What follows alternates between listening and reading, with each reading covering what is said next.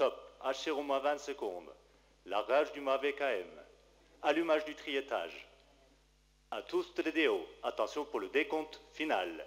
10, 9, 8, 7, 6, 5, 4, 3, 2, 1.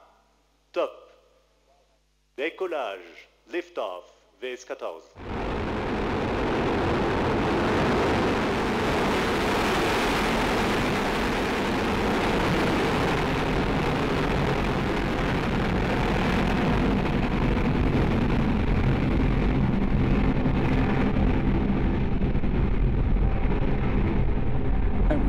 Off, we are off, hauling ourselves against the gravity of the Earth.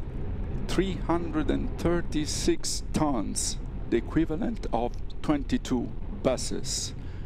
And we're heading north, out over the Atlantic, and then uh, over North Canada.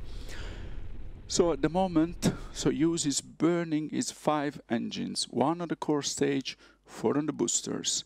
Uh, the boosters are doing most of the work. Their job is to get us away from Earth and defeat gravity, which makes us stick to our planet. They have a very short-lived Le job. vol est nominal. Les paramètres sont normaux. all parameters are nominal. They have a short life. They're going to be separated, and you will see them drop on the ground just before two minutes in the flight, so very soon. They are powered by liquid oxygen and kerosene.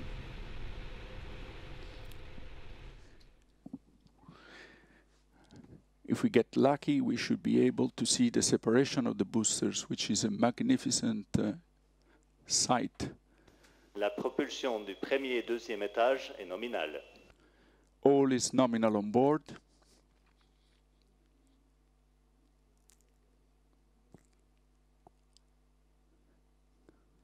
Watch for 158.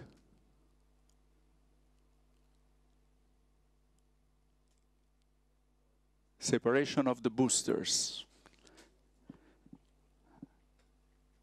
You can't, but I can see the roar of the engine from étage. where I'm staying. So the burn of their propellant, so we don't need them anymore.